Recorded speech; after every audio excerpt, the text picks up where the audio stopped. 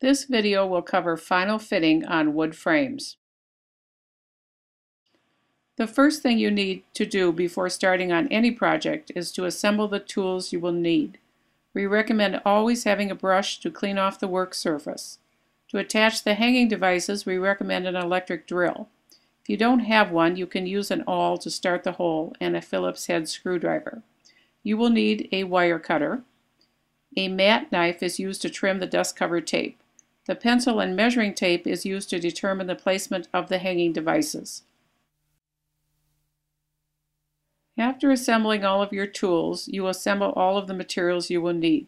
To do the final fitting on the framed artwork package, you will need strap hangers, wire, a dust cover tape, and bumpers.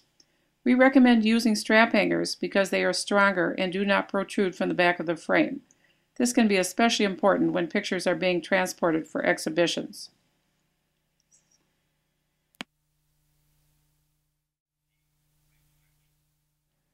Before attaching the hanging devices, turn over the picture to be sure you know which side is the top of the frame.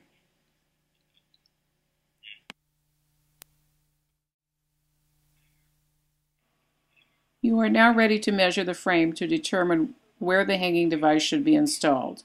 We recommend putting the hanging device one-third of the way down from the top of the frame. In this case, the overall measurement is 18 inches, Therefore, we measure down one-third of the distance from the top, or 6 inches, and then mark the frame. We do the same thing on the other side.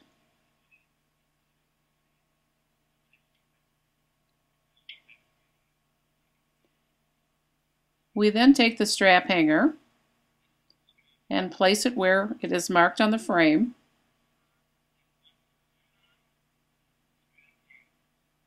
angling the loop towards the top of the frame. And it should overhang the strainer to make attaching the wire easier.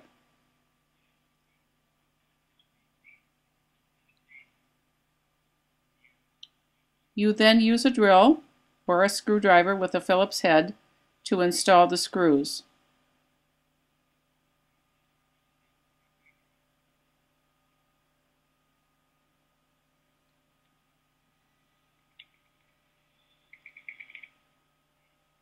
Repeat the process on the other side of the frame.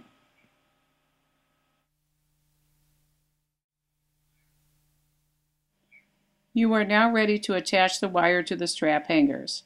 Run the wire through the loop on the strap hanger and then a second time so there is at least two loops. Then twist the wire around itself so it is secure.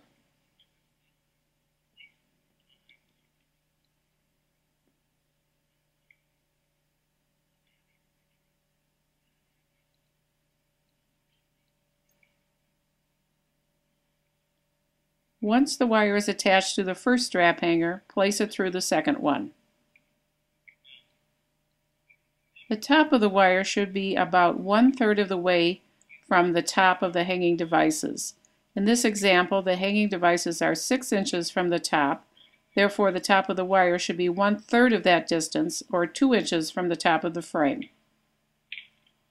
Pull the wire tight to be sure it's the right distance,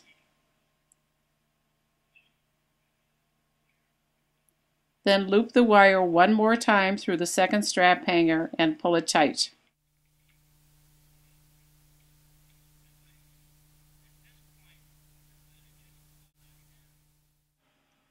You then twist the wire to make sure it is secure.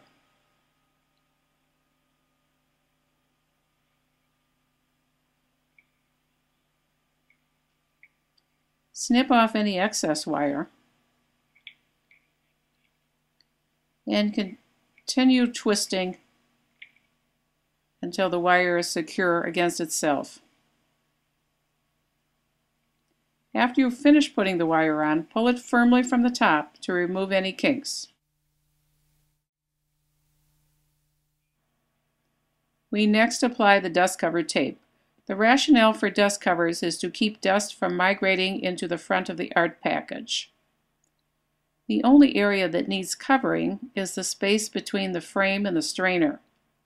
If the frame is going to be used for an exhibition and then reused, the dust cover tape is not essential. First tear off the release paper and attach it to the frame. Press down firmly to make sure it is on securely. It will be faster to apply if the tape is cut the approximate size of the frame before you begin the project.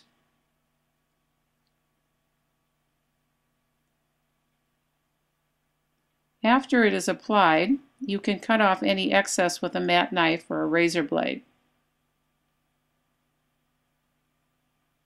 Continue the process on each side of the frame, trimming when necessary.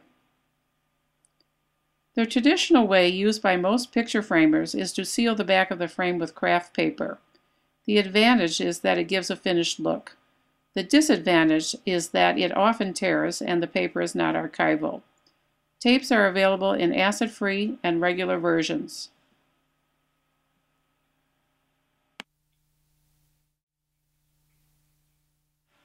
The final step is to put bumpers on the bottom corners to help keep the frame level on the wall. Just peel the bumper off the sheet and place it on the highest part of the bottom of each corner of the frame.